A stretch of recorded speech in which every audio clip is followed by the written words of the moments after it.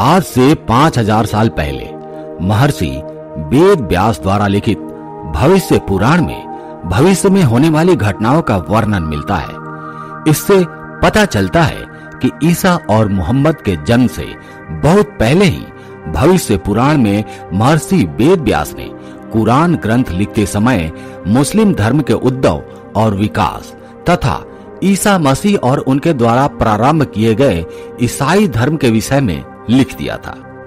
दोस्तों, भविष्य पुराण में ज़िक्र आता है कि एक समय जब हिंदुस्तान की सीमा हिंदू कुश पर्वत तक थी तो वहाँ प्रसिद्ध शिव मंदिर था। ऐसा कहा जाता है कि एक बार कुछ संत हिंदू कुश पर्वत पर शिव के दर्शन करने गए थे तो भगवान शिव ने उन्हें ये बताया था कि अब आप सभी यहाँ से लौट जाओ। मैं भी इस स्थान को सदा के लिए छोड़ रहा हूँ। जाओ और सभी को बताओ कि अब यहाँ किसी को नहीं आना है। थोड़े दिनों में प्रलय की शुरुआत यहीं से होने वाली है। कहा जाता है कि इसके बाद खलीफाओं के आक्रमण ने अफगान और हिंदू कुश पर्वतमाला के पास रहने वाले पंद्रह लाख हिंदुओं का सामूहिक नरसंहार किया था। अफगान इतिहासकार होंडा मीर के अनुसार यहाँ पर कई आक्रमणों के दौरान पंद्रह लाख हिंदुओं का सामूहिक नरसंहार किया गया था। हालाँकि कुछ संत लोग मानते हैं कि भगवान जब किसी स्थान से नाराज़ हो जाते हैं तो वहाँ प्राकृतिक प्रलय आने लगते हैं। इसलिए आज हिंदू कुश पर्वत और आसपास का क्षेत्र अफ़गानिस्तान का क्षेत्र है, जो भूकंप आने का केंद्र बना हुआ है। भविष्य पुराण में इस्लाम के बारे में मोहम्मद के जन्म से कई हज़ार वर्ष पहले बता दिया गया था। भविष्य पुराण के खंड तीन में लिखा है लिंग छेदी सिखाहिना। संश्रुधारी सदूषक उच्चालापी सर्वभक्षी भविष्यति जनो मम विना कौलम च पश्वस्तेषाम भक्षया मता मम मूसलो नैव संस्कार।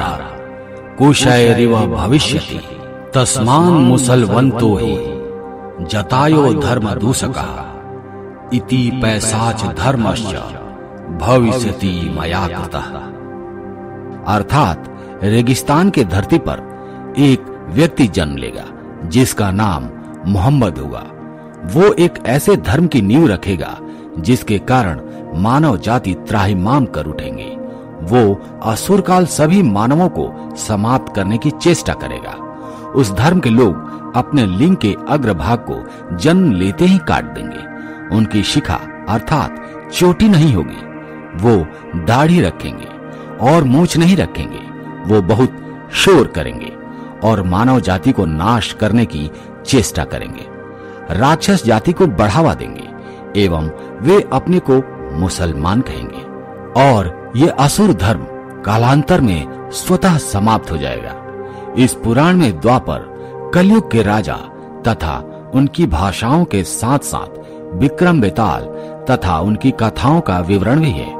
सत्य नारायण की कथा भी इसी पुराण से ली गई है। इस पुराण में ऐतिहासिक व आधुनिक घटनाओं का वर्णन किया गया है। इसमें आला उदल के इतिहास का प्रसिद्ध व्याख्यान इसी पुराण के आधार पर प्रचलित है। इस पुराण में नंद वंश मौर्य वंश एवं शंकराचार्य आदि के साथ साथ इसमें मध्यकालीन हर्षवर्धन आदि हिंदू और बौद्ध राजाओं तथा चौहान एवं परमार वंश के राजाओं तक का वर्णन प्राप्त होता है।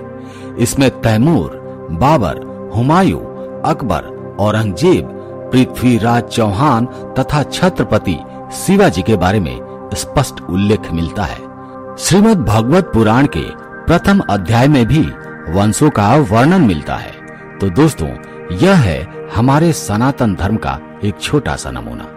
दोस्तों, मैं आपसे एक विनम्र निवेदन करता हूँ कि अगर आप वाकई में हनुमान जी को अपने दिल से मानते हैं तो इस वीडियो को लाइक कर दीजिएगा, चैनल को सब्सक्राइब कर लीजिएगा, एवं कमेंट बॉक्स में लिखेगा जय हनुमान।